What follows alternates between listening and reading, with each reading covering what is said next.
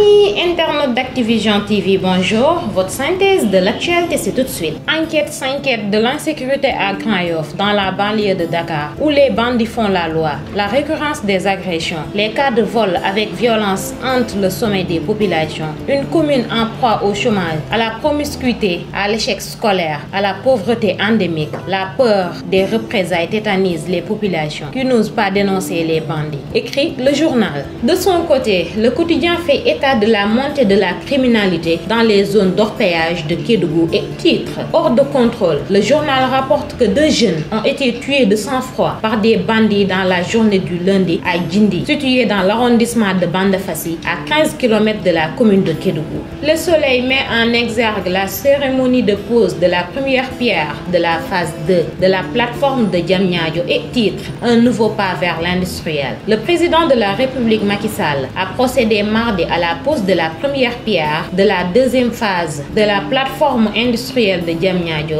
l'infrastructure d'un investissement de 60 milliards de francs CFA bâti sur 40 hectares est attendue dans 24 mois, souligne le journal. Selon l'AS, Macky Sall exige la livraison des travaux dans les délais. La durée du chantier est prévue pour deux ans et conformément à son mode fast-track, Macky Sall veut que les travaux soient livrés dans les délais, rapporte la publication. Concernant la modification du code électoral, Source A révèle que le chef de l'État n'a pas perdu de temps. En effet, après le passage du projet de modification du code électoral en Conseil des ministres, ce lundi, il a convoqué l'Assemblée nationale pour la tenue d'une session extraordinaire prévue jeudi à 16h, rapporte la publication. Macky Sall accélère la cadence pour la modification du code électoral, souligne Vox Populi, notant que les députés sont convoqués jeudi à 16h pour l'examen du projet de modification du code électoral.